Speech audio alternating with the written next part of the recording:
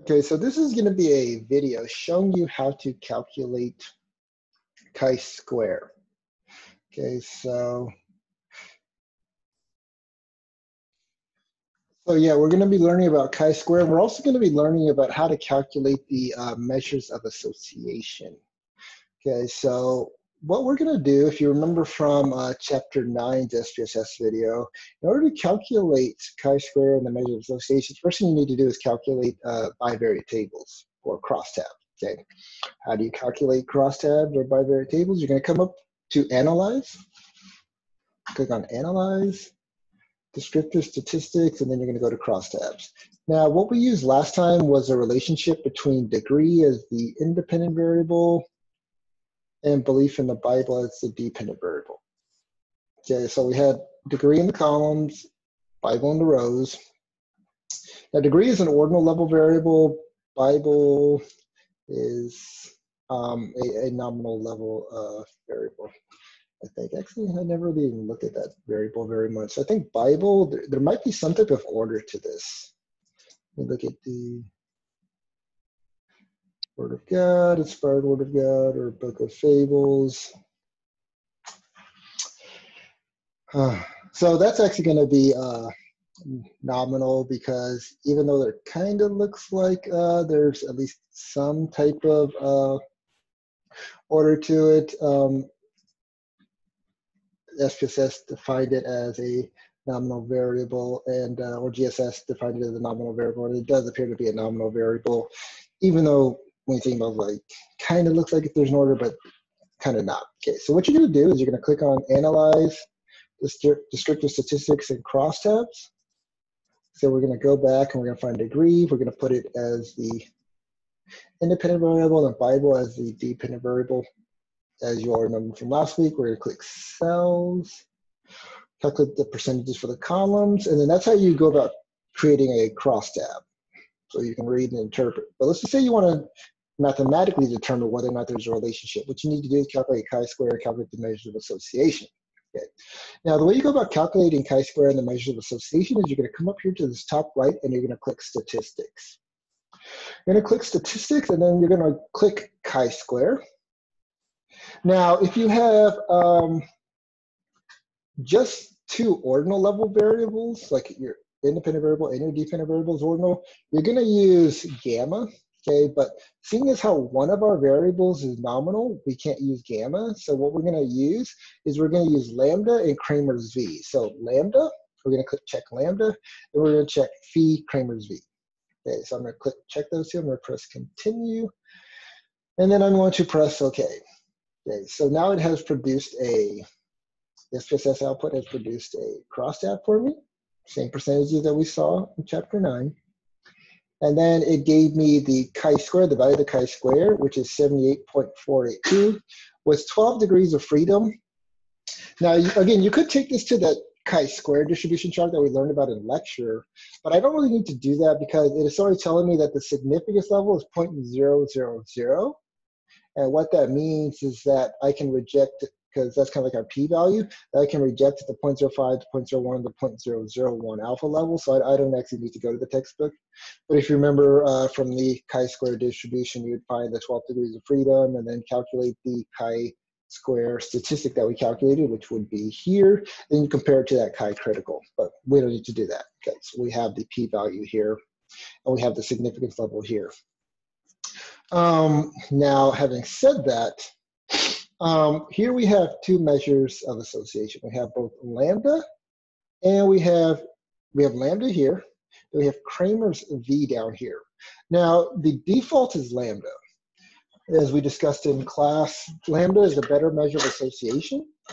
Um, now, if you also remember what we discussed in class is that lambda is a, what we refer to as an asymmetrical measure of association, which means that if you specify degree as the independent variable, you're going to get one lambda. Then if you specify Bible as the independent variable, you're going to get a whole nother lambda. Okay. Now we have we specified that Bible feelings about the Bible is the dependent variable, and that degree was the independent variable. So it tells it gives us both lambdas. It gives us the lambda if feelings about the Bible is the dependent variable, and our and our value of our lambda is 0.045. It also gives us the the value of the lambda if a degree is the dependent variable, which it wasn't. So we're, we don't really need to be concerned about this. But if it was, the lambda wouldn't work. It'd just be 0.000, but we don't necessarily have to worry about that. The reason why I calculated both lambda and Cramer's V is because if our lambda had been zero, more often than not, lambda is zero than it isn't. So lambda doesn't work a lot. And when lambda doesn't work, you're going to default to Cramer's V. Okay. Um, but since lambda did work, um, we see that it's a 0.045, which means that there is a weak relationship between degree and uh, feelings about the Bible. Okay, so that's how you do it if you have a either two nominal level variables or you have a ordinal and a nominal level variable. Now, let's just say you have two ordinal level variables. You're not going to calculate lambda or Cramer's V. You're going to calculate gamma. Or if you have a dichotomous nominal and an ordinal variable, which is a dichotomous nominal means that it's a nominal variable, but there's only two options example being like sex, yes and no, or sex, you know, male and female, or like another variable is asking yes or no. There's only yes or no in those two options. So you could treat that you could treat that dichotomous nominal variable as if it's ordinal for the purpose of calculating uh, gamma. So what we're going to do here is uh, we're going to show you how to calculate gamma. So go to descriptive statistics, go to crosstabs, and I'm going to instead of like using Bible, I'm going to try to find a ordinal level variable. Okay, um, so I guess I'll look at degree in health.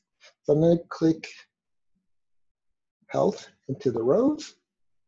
Now the cells are already calculated with the column percentages, so we're good with that. Then I'm gonna click on statistics. Now here, I'm still gonna keep the chi-square, but I'm going to get rid of the phi and Cramer's V and then the lambda, and I'm going to calculate gamma this time because I want to see, this will tell me whether or not there's a relationship or the strength of the relationship between degree and health. I'm going to press OK. I'm going to press OK. Now, so this is the crosstab that it produced for me. Here we see that as your degree increases, it's a general pattern that as your degree increases, your health outcomes increase in the sense that only about 15% of people who have less than high school education said that they were in excellent health. Now you compare that to somebody with a graduate degree. 38% of those people uh, say that they're in excellent health. And uh, of course, uh, if you compare that to people who have um, less than high school levels of education, 6.6% of them said that they're in poor health. And compare that to only like 0.9% of people who are, have graduate levels of education. And of course, you see it also for people who just said, oh, I'm just in fair health.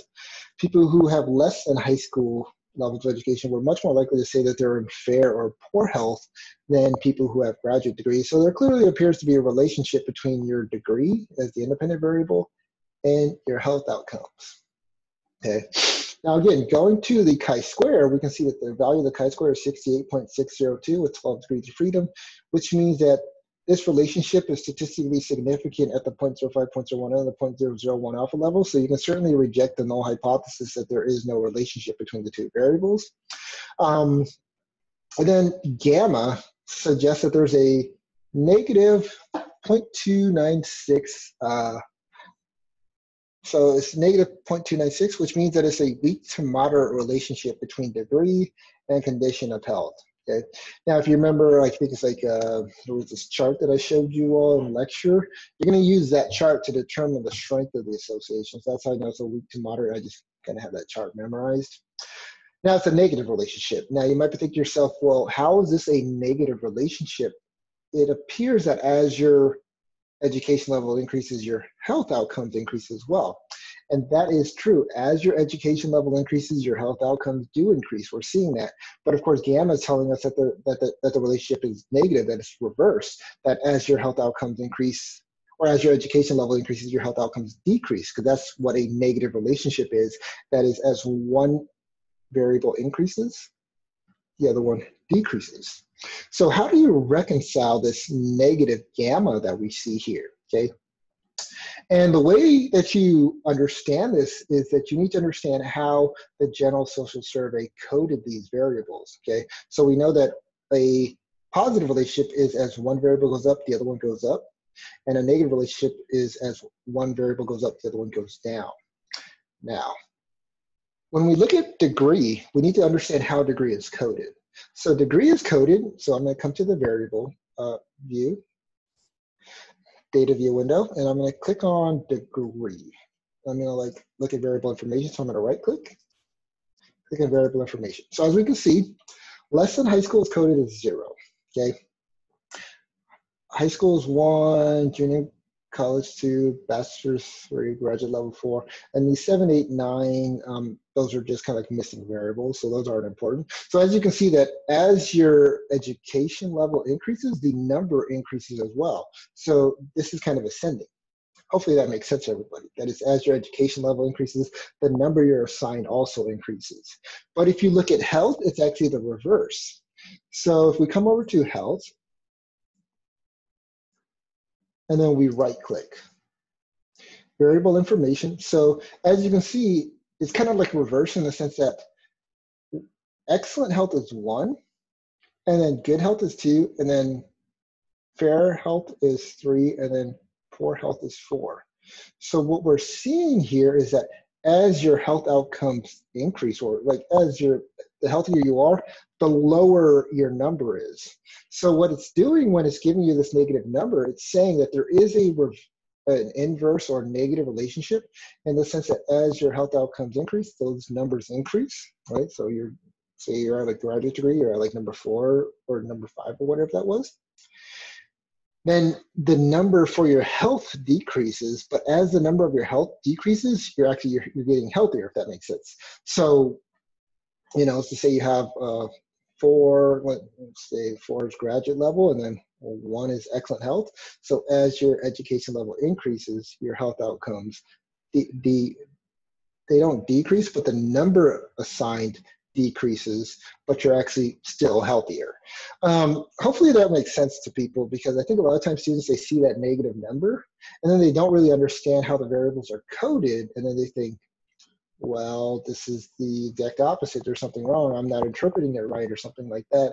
But actually, you just need to understand how it is that these different variables are coded to, to make sense out of that negative relationship sometimes. Okay, um, said that, so that's how we read and interpret the output, the gamma, the chi-square, gammas for ordinal or dichotomous nominal variables, and then lambda and Cramer's V is for uh, nominal level variables.